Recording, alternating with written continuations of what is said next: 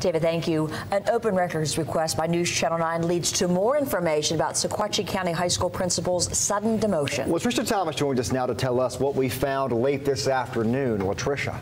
Josh, Kim, we got this copy of the letter that Director of Schools Michael Swafford sent to former Sequatchie principal Tommy Layne. He explained in this letter why he was being demoted to an elementary school teacher.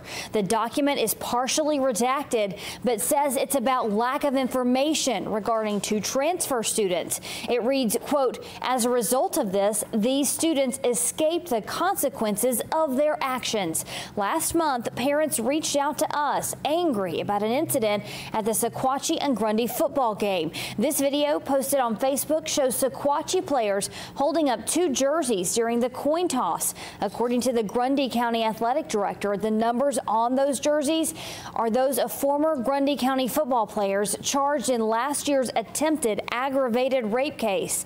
Those students then transferred to Sequatchie. Because the document is partially redacted, we cannot say for sure that this is regarding the Grundy County incident incident. But Layne's demotion happened just one week after that football game. Josh. Well, Tricia, thank you. When we first reported this story last month, the Grundy County Athletic Director told us Tommy Layne called and apologized for what happened at the football game. A Cleveland dad who just returned